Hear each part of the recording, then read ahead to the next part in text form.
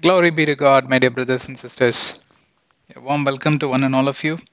It's been a wonderful time so far that we have been benefiting through our ministries which God had opened um, to us. And I would say the first leap compared to some of the great ministers to God. But I never walked in comparison that I couldn't do this like that brother, I couldn't do this like that sister. No. Each one of us are unique before God, and God opens up that opportunities, right?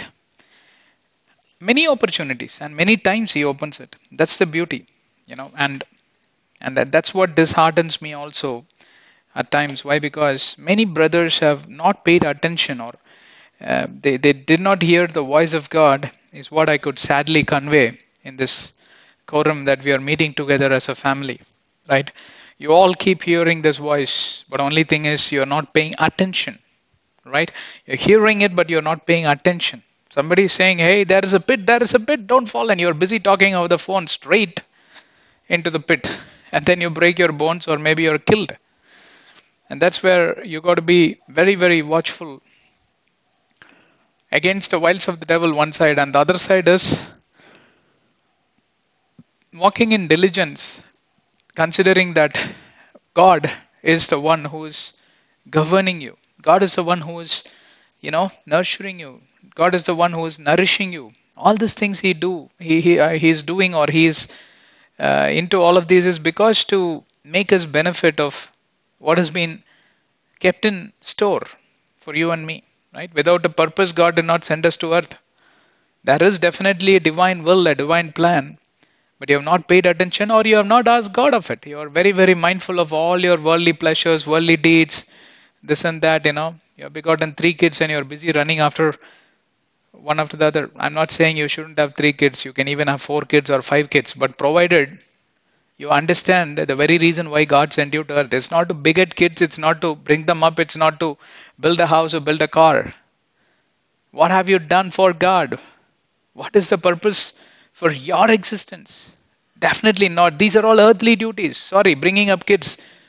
Yeah, even all the animals, the living stock, they also take care. The cattle takes care of its calf, right?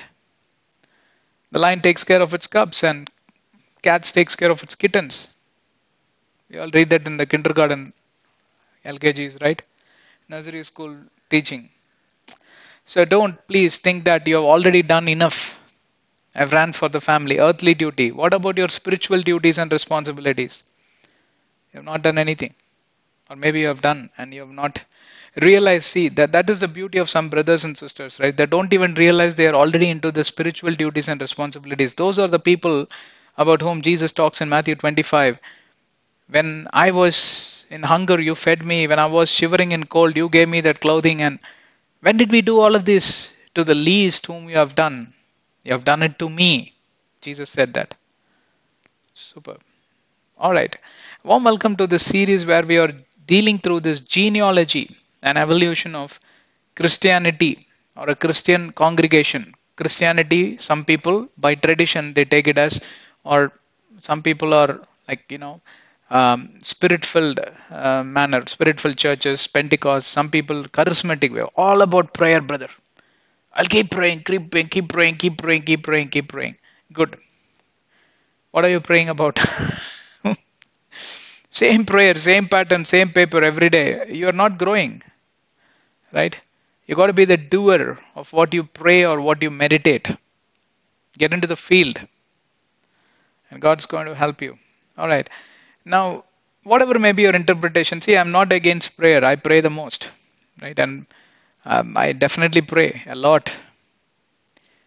Um, you know, see, praying has different varieties in it, right? You get into fasting, you get into morning worship, or uh, in the middle of your bed, right? You get up to drink a little bit of water and you you end up praying for 30 minutes and that's another variety of prayer and worshiping you're not able to pray sometimes. You're only able to worship because so overwhelmed in anguish and um, some grievous moment or a tragic incident took place in your life.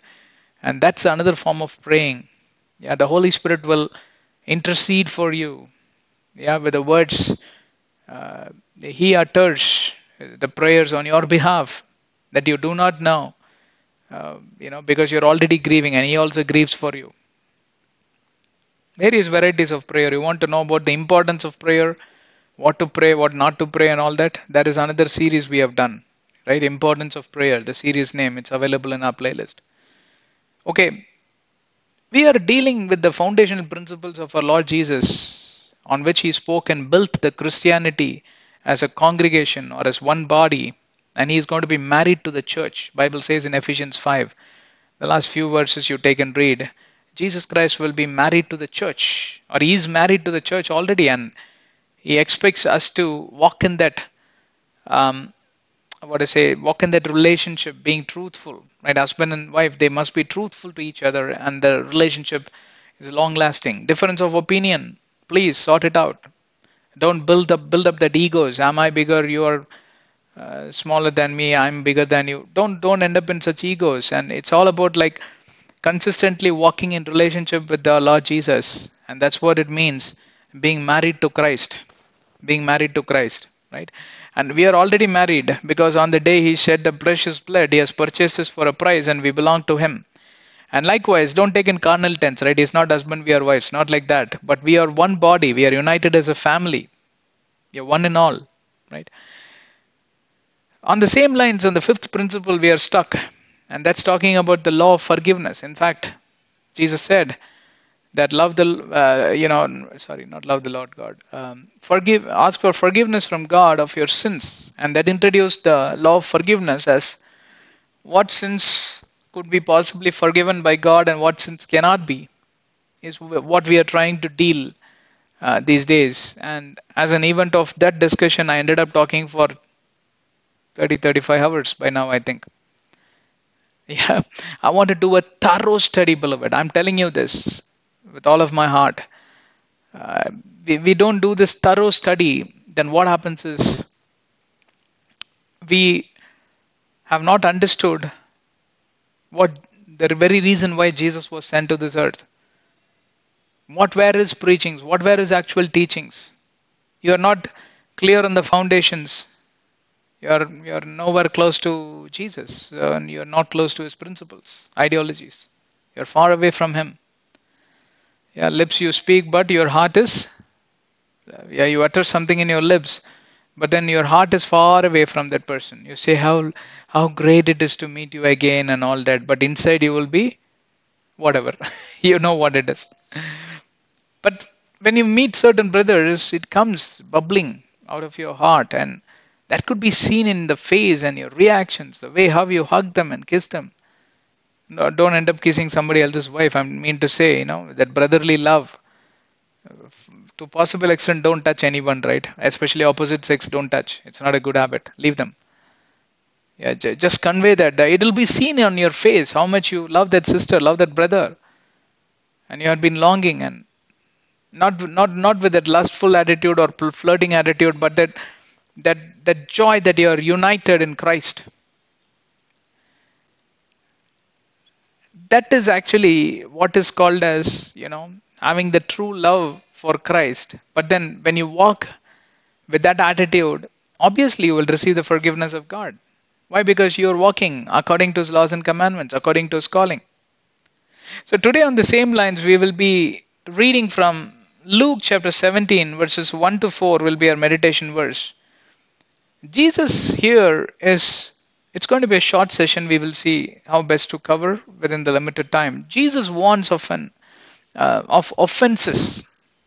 You know, um, uh, you know, people, you know, get offended like anything. Why you would have meant in some tense, but the person who would have understood something from you would have understood in a different tense, and there comes the struggle. There comes the war, Cold War. And you end up breaking that relationship which you had built out of you know so many years. Um, um, in fact from childhood some people are together but then one word one word no that's enough for them to you know break that relationship. And uh, if you would be digging properly and seeing It is about the misconception or misinterpretation or misunderstanding or misapprehension. All of them conveys the same meaning, by the way. Um, he would have meant something, but this brother would have talk, uh, taken in a different tense. Then what happens is you continue to battle against the brother in your prayer room. You continue to build that strife, that hatred in your heart, because your understanding was different. What it takes for you to walk to that brother or a sister and uh, you know ask them, did you mean it this way? Did you mean it that way? Maybe they are angry the way how you are asking, but if you're polite, I don't think anybody is going to be angry. I just want to have a clarification. You meant something like this. Did you mean it this way or that way? Please. I'm i'm not able to take this easy or i'm not able to understand this clearly. Therefore i'm asking you to please clarify this for me. And they're going to clarify it right? And then the thing is over. Another thing is many people get into offense especially when they are criticized for their on their spiritual deeds on their holy deeds that's where actually Jesus is coming from, is what I think. But we will be reading from the Bible. What is Jesus' perspective is what we are going to read and understand today. Isn't it? When you're so holy and righteous, really you are. I agree. Many brothers and sisters are just like Paul's of the world and just like Jesus. Many people have built their character like Jesus. But then, when somebody comes and criticizes them, they forget Jesus' teaching they forget Jesus teaching that many people will offend you, many people will hurt you, many people even goes to the extent of killing you. Then what happens? You get offended, then you are not the child of God. Look at Stephen. It was not an offense.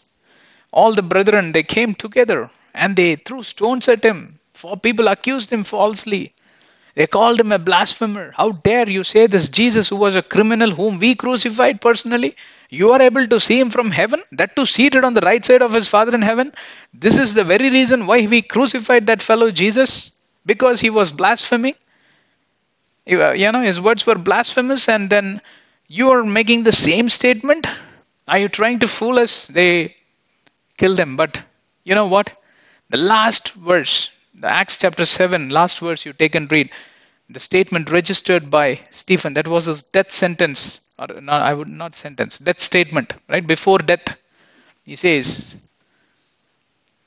let, let, please do not charge them for the sin that they have committed against me. What does it mean? Yeah, he first of all, all his sins are forgiven, right? Knowingly, unknowingly, whatever. And secondly, just because of that one word prayer or one sentence prayer, all the fellows who stood there and stoned them to death, God would have nullified their sins. That's the beauty. That's the beauty of not being in offense or not getting offended. Right? Don't get offended. Why Bible says that? Why? Because for your sake, the people who were supposed to burn in hell, for your sake, God forgives them because they deserve to burn in hell for the crime they commit against us. God may not inquire them today. It may sound that they were they were right. Why? Because with the crime that they are charging, right, with the punishment, with it, uh, they are charging against you, will be fulfilled. God allows it to test your faith and my faith. Correct? He will be testing our faith, our stand for God. When you are being persecuted for Christ, when people come against you, how loving you are, how gracious you are, how merciful you are.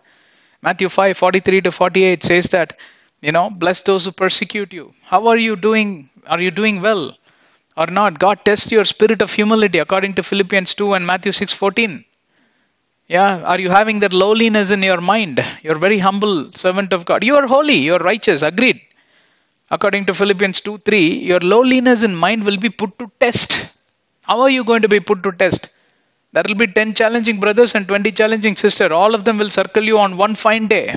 All of them will be start to will be starting to throw um, curses at you, tantrums about you, heresies on you, um, and then they will be building stories. They will irritate you. Maybe they do it out of envious heart, bitterness. Yeah, they are the agents of the devil. Fine. But what will be your reaction based on which God will judge how your sins are going to be forgiven. Right? What is your position before God will be clearly determined on your reaction to such people. How do you respond? Are you all with me? Now, I was just laying down the context because the moment you understand the uh, actual meaning of this offense by concept, by doctrine, by definition, then I think it is not a big deal for us to understand what Jesus is trying to say. Of course, Jesus tells many things very, very plainly. It's very simplistic to understand. Uh, however, I want you to also understand that even from the practical tense, these are the things what we go through at workplace, right? They keep noticing you. You're walking with Bible. You're reading Bible. You're speaking from Bible. Then they will throw some challenges. Then you behave like a demon. Who are you then?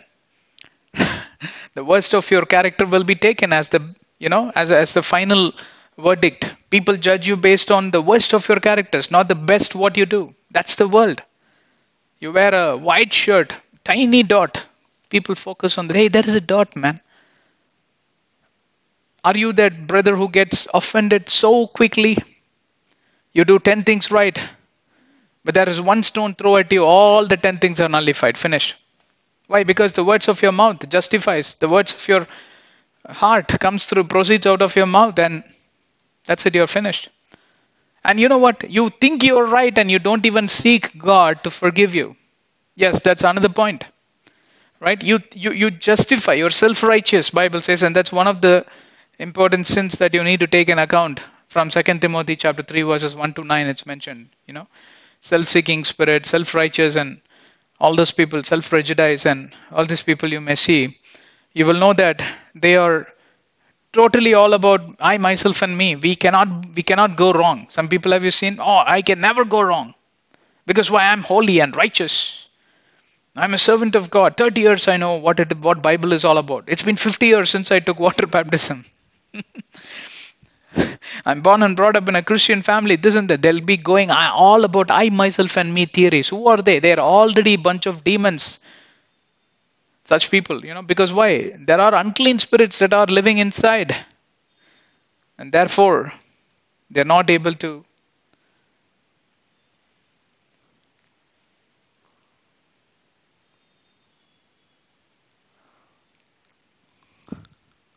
you know i gave a pause because you will it'll helps you to digest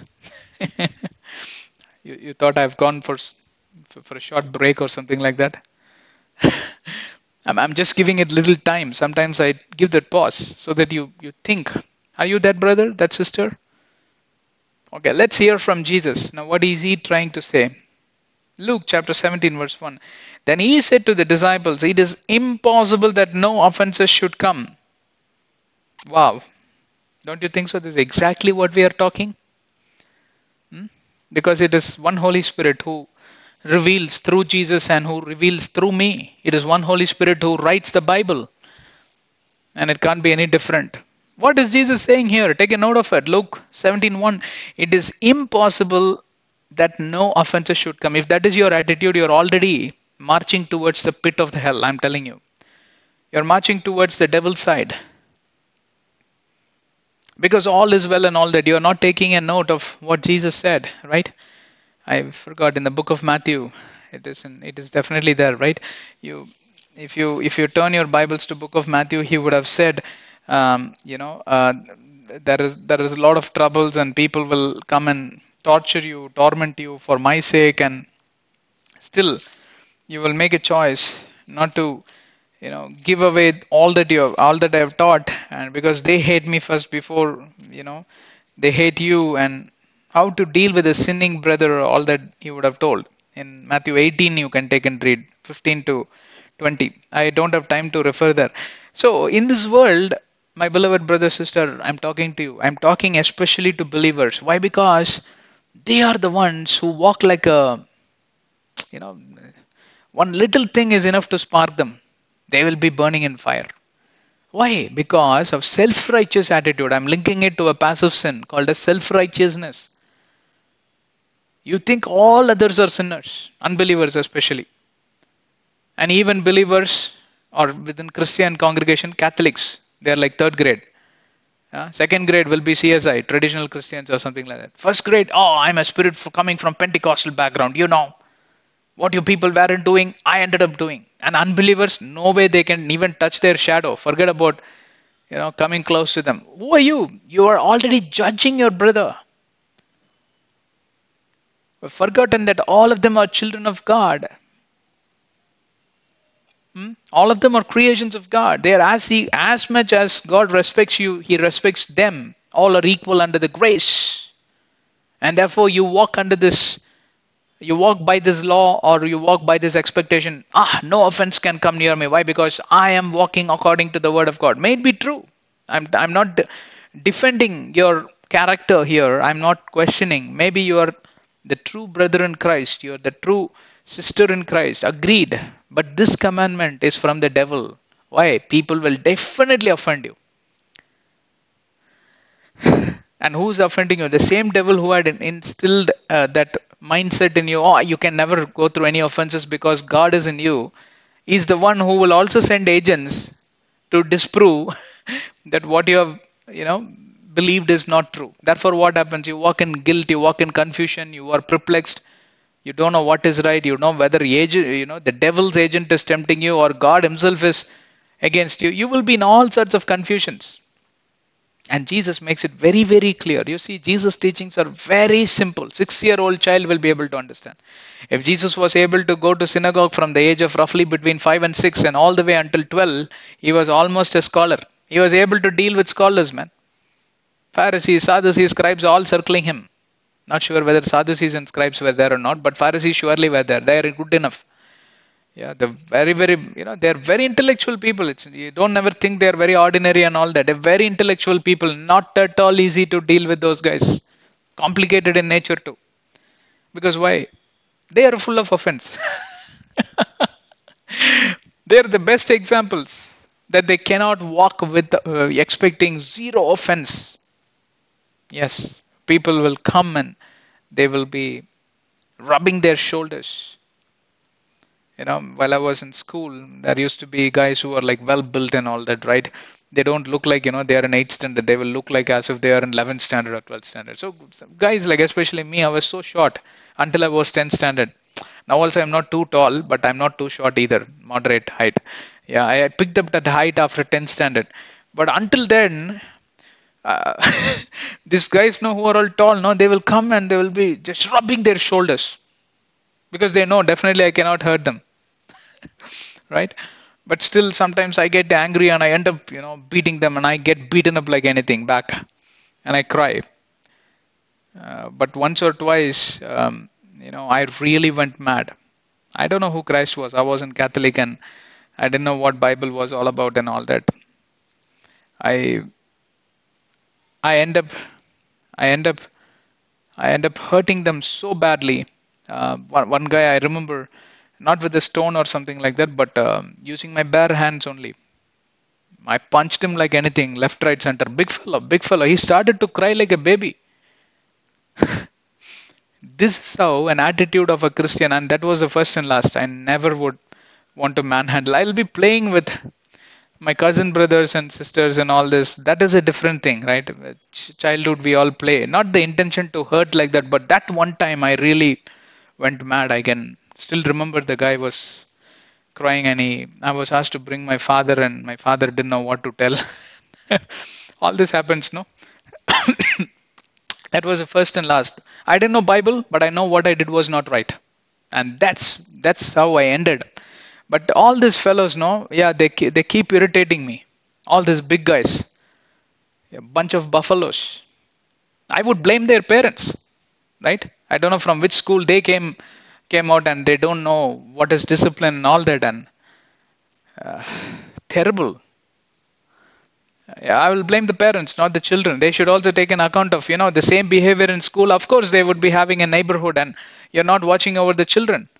But when they when when they complain against your children, oh, you are getting all offended. Who are you?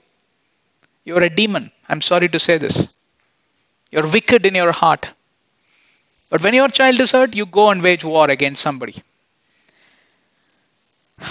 all right, let's come out of parenthood and get into this discipleship. We are learning the concept of discipleship, and for which it's an important thing to understand. The more you stay out of this offense as a category or a section, easy for you to forgive others, easy for you to receive forgiveness from God. Why? Because you will be really calm and composure. To, to you, offense feels absolutely useless. It's a parameter which really eats up your time, energy, emotions. Do you know that? Oh, what a tremendous amount of energy I would have lost with offense. And you know what? You, you think I don't get offended. I do get offended. Who's saying I don't get offended? Even yesterday, also, one of the incidents I got offended, with whom I won't tell you. but then, in, in minutes or maybe sometimes in seconds, I overcome it. I know it was it is not from God. It is not of God. It is from the devil. But woe to him through whom they do come. See, notice the words of Jesus. Woe to him means what? Curse. He is cursed. Through whom that offense comes out in form of actions. Could be the dirty words, dirty language, bad mouthing, gossiping, murmuring, grumbling, throwing stones at people, or manhandling them, killing them, murdering them. Woe to him, cursed is he. Can you see Jesus? You know, this woe to him, woe to him, he has used in Matthew 23 against the Pharisees. Directly he attacked them. But after that, if you see one or two places only, he would have used that woe, woe to the people.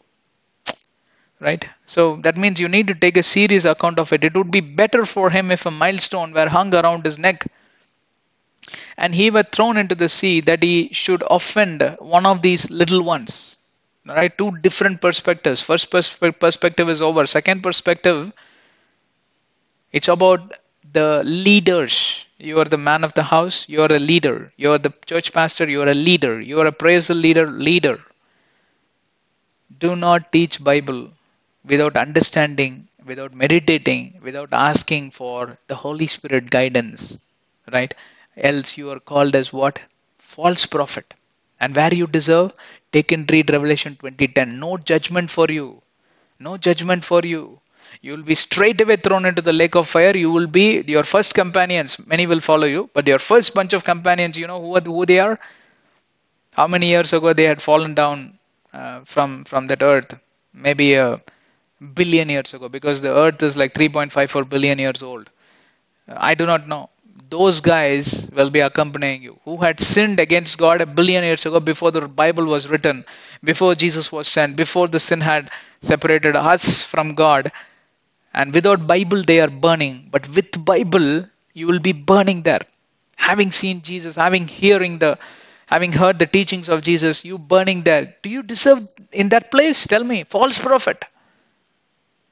That too without a judgment. You are not seeing Father's face. No, you will never get an opportunity. At least people who try to walk righteously, they get an opportunity to see who this, who is that Father, who is my Jesus. Okay, you see him, yet you are judged, and unfortunately you are thrown into the lake of fire. That's a different thing, but you don't get an opportunity at all. and who who you think you are? Oh, that great man of God. it will be better for you to be thrown into a lake or a sea. Sorry, thrown into the sea. Take heed to yourselves. We will close with 3 and 4. We will read and close. Take heed to yourselves. Heed means what? Take due attention. Take a serious note. They say, no? That's what. Take heed to yourselves. If your brother sins against you, rebuke him. And if he repents, forgive him that's called as you know people who get offended no? They know only to rebuke. They, def- they definitely do not know how to forgive. You check out and see. For yourself right? You apply this principle to yourself you will understand what i'm saying. You will end up only correcting that brother rebuking scolding shouting and all that. Yes what they have done is not right. Agreed. You are that holy brother sister. Agreed. But who are you to judge from the judgment seat of christ? 2 corinthians 5.10 belongs to me who are you? You are a demon. Why? Because you are pushing Jesus out of his throne and taking his place. That was the attitude of the devil, and that's why he became devil. Right? That's why offense is such a bad parameter, bad animal that lives inside your heart. Hmm? It's like a serpent circling your feet and it's not going to leave you. Why? It's going to bite you enough. You're going to fall down to the earth. It's going to bite you. Offense is like that serpent which circled your feet. It's impossible to you know pull up that snake which circled you because it took it's taken that grip. You understand what I mean? Offense has taken grip in your heart, beloved, and it has separated you from the love of men and God. But forgive them when they repent, saying sorry. Somebody says sorry, an apology. Even without that, we are supposed to forgive. That's the attitude of a true Christian. You don't expect sorries and um, whatever, right? Forget it. But even after they repenting and coming to you and saying sorry, forgive them. But if you don't forgive them, oh, the forgiveness of God will never reach you. That's where we are discussing, no, for a very long time. It's our 36th hour or 37th hour. We are just talking only about ask for forgiveness from God for your sins. But I'm talking from the other perspective, law of forgiveness. You think really forgiveness of God will be will be reaching you? No, your attitude will be an hindrance. You are the violator, you are an offender, breaking the laws and commandments. Forgiveness of God will never reach you. Tell me. Tell me if you if you don't follow by these principles, how, how you think God is able to forgive you? Because in the same measure you judge others, you will be judged. You don't forgive others with the same measures, God will never forgive you. Will will never be able to forgive you because it's a conditional statement. Verse number four. And if he sins against you seven times in a day, and seven times in a day returns to you saying, I repent, you shall forgive him. Jesus takes a number and Peter catches this number and he asks Jesus, I don't remember in the book of John or uh, I forgot, right? Uh, how many times we should forgive? Seven times? You know, Peter asked this to our Lord Jesus.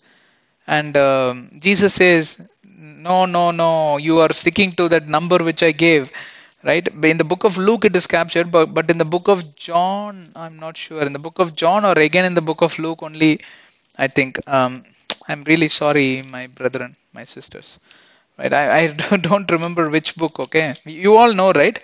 But jesus says hey not seven times. What? I told that number for an, as an example. But forgive your brother 770 times in a day per brother. Can you imagine? You have 10 brothers and per brother you have to forgive them 490 times 7 multiplied by 70 if he if he were to sin such an irritating brother.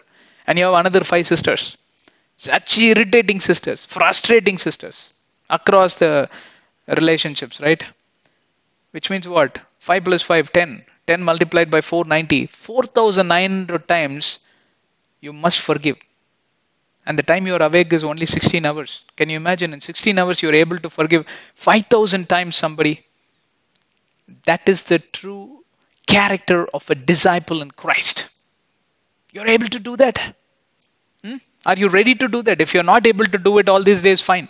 But are you ready to do it? Yeah.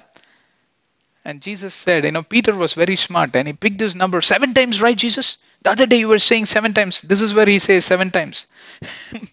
and then Peter, uh, you know, picks that number very smartly and uh, he asks, uh, Is it right, Jesus? Seven times? And Jesus says, Come here, Peter. Peter is very, very naughty, right? And innocent guy, too. And he says, Peter, it's not just seven times. Come here. It's 770 times. Come, let me teach you a little bit of mathematics here. And Jesus taught a very good mathematics to him. And he said, according to this mathematics, you're supposed to forgive 490 times. Oh, Peter now bites his nail. How is it possible? Uh, no way. Yeah, I found it. I was searching for that. Matthew 18. In the book of Luke, it is captured very well seven times. Matthew 18, verse number 22. Jesus said to him, I do not say to you up to seven times, but to 70 times seven. but previous verse, right? Lord, then Peter said to him, Lord, how often shall my brother sin against me and I forgive him? Up to seven times, right? That right word is missing there. That's it. All right. I hope you understood. It was a very good discussion, very useful learning, right? So from today, say no to offense, say yes to forgiving people, especially those who come in repentance. Poor fellow is already in such a bad state. Why would you offend him more? Or why would you give him more pain? Heavenly Father, we want to thank you, Lord, for this wonderful time and opportunity. We really appreciate that you have taught us from the concept of offense. May we be not an offender, violating the laws and commandments, neither do we get offended, nor do we treat people who offend us in a harsh way. May we be forgiving them. In Jesus' name we pray, Amen. God bless you. Subscribe to our channel, get access to all our playlists. Please spend some time listening to these teachings. It will only help you, build you as a better person. Share it with your friends, relatives. Be an instrument in the hands of God. Please share this good news of gospel across ends of the earth and pray for our ministries. 10 seconds at least. Remember me in your prayers. God bless you. I'll see you soon.